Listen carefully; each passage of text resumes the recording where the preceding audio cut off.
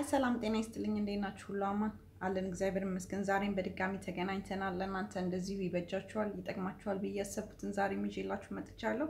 ያው ዛሬ ይዤላችሁ የመጣሁት ደግሞ እንደ ሌላው ቀኑ በአካባቢያችን የምናገኘው የምንችለው ነገር ነው። ዛሬ ይዤላችሁ የመጣሁት ጅንጅብል ነው። በጣም ብዙ ጥቅሞች አሉት እና ጥቅሞቹን ለማስረዳት እሞክራለሁ። እስከ መጨረሻ ላይ ተከታተሉት። በጣም የሚጠቅማችሁ ብዙ ብዙ ለሁላችንም የሚጠቅመን እና የሚረዳን ነገር ነው እና ያው ዛሬ ይዤላችሁ የመጣሁት ያው በመጀመሪያ ደረጃ ጅንጅብል ጥቅም ምግብ እንዲፈጭልን ያደርግልናል። አንዳንድ ሰዎች ምግብ ከበላን በኋላ ቶሎ ያለመፈጨት ችግር ያለብን ሰዎች ጅንጅብልን በሻይ መልክ መውሰድ እንችላለን ማለት ነው። ወይም ደግሞ ሁሌ የምናበስላቸው ምግቦች ላይም በመጨመር መጠቀም እንችላለን ማለት ነው። ሌላው ደግሞ ማለት ነው በሰውነታችን ውስጥ ያለ እብጠቶችን ለመቀነስ ይረዳናል። በሶስተኛ ደረጃ ደግሞ ይዤላችሁ የመጣሁት የማስታወክ ስሜት ወይም ደግሞ ማስታወክን ለማስወገድ ይረዳልናል ማለት ነው። ይህ ማለት በተለይ በካንሰር የካንሰር ህመምተኞች የሆኑ ወይም dialysis የሚያደርጉ ሰዎች አንዳንዴ ከመድኃኒቱም ሊሆን ይችላል የማስታወክ ስሜት ያለባቸው እንዲሁም ደግሞ በእርግዝና ወቅት ያለ የማስታወክ ስሜት የጠዋት ማስታወክ ስሜት ያለብን ሰዎች ጅንጅብል በጣም ይረዳናል። ግን በተለይ እርጉዝ ከሆንን ግን ያው መጠንቀቅ ይኖርብናል ማለት ነው።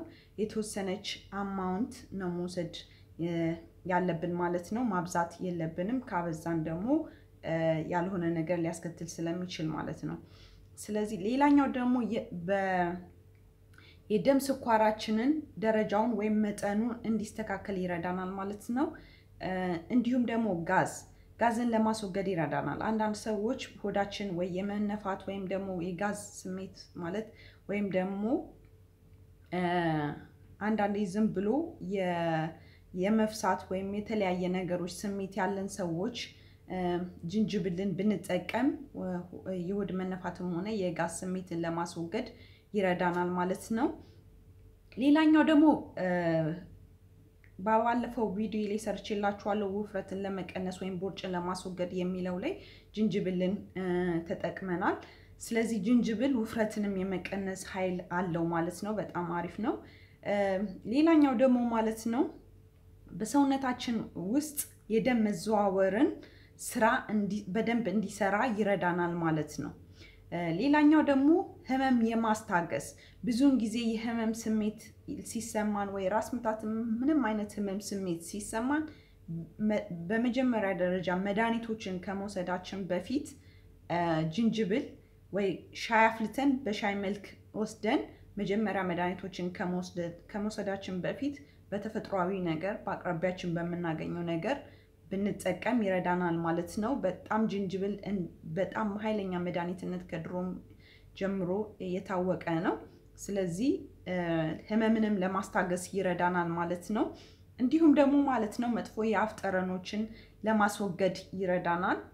ሌላኛው ደግሞ የበሽታ የመከላከል አቅማችንን ይጨምርልናል። እንዲሁም ደግሞ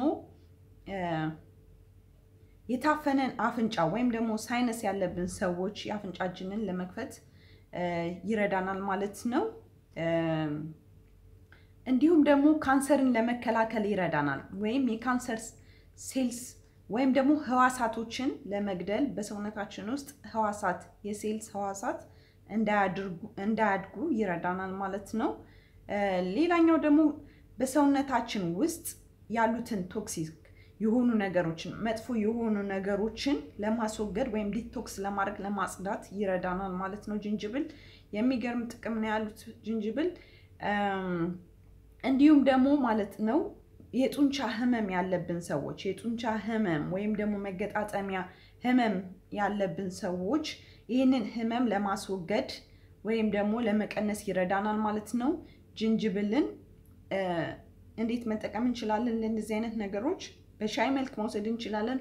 ሁለተኛው ደግሞ ጅንጅብሉን በሻይ መልክ ከፈላም በኋላ ራሱ ውሃውን አድርገን ያመመን ህመም ስሜት ጋር በጨርቅ አድርገን መያዝ ለተወሰነ ጊዜ ያህንንም ምክንያቱም በጣም እብጠቶችንና ህመሞችን የማስወገድ በጣም ኃይል ስላለው ማለት ነው።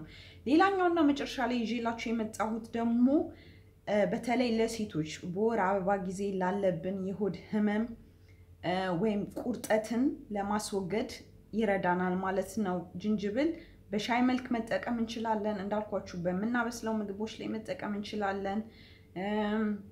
በተለይ በጁስ መልክም መጠጣት እንችላለን።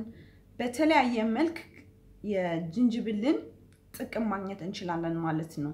ስለዚህ በተለይ ለጉንፋን በተለይ ጉንፋን የታወቀ ነው። ጉንፋን ሲይዘን ጅንጅብል ሻይ አፍልተን እንጠጣለን ማለት ነው። ስለዚህ ጅንጅብል በጣም የሚገርም የሚገርም ጥቅሞች ነው ያሉት። በተቻለን መጠን በየቀኑ መጠቀም እንችላለን። ይህንን ስላችሁ ለአንዳንድ ሰዎች የማይስማማን ሁኔታዎች ይፈጠራሉ።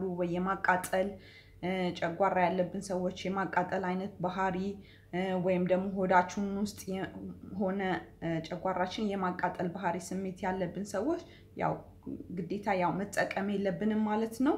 ካልተስማማን አንድ ነገር ሁሌም እነግራችኋለሁ፣ የማይስማማን ከሆነ ግዴታ የመውሰድ መውሰድ የለብንም። ምክንያቱም ሌላ አይነቶች ለእኛ ለሚሆኑ ነገሮች ደግሞ የማይጎዱ ነገሮች ግን እነዚህን ነገሮች ከቨር የሚያደርጉ ነገሮች ሊኖሩ ስለሚችል የማይስማማንን ነገር ያለመውሰድ ይመረጣል ማለት ነው። ስለዚህ እንደሚጠቅማችሁ ተስፋ አደርጋለሁ። በሚቀጥለው ቪዲዮ እንደዚሁ ለእናንተ ይጠቅማችኋል፣ ይበጃችኋል ብዬ ያሰብኩትን ይዤላችሁ እስከምመጣ ሰላሙን ልመኝላችኋለሁ። ፒስ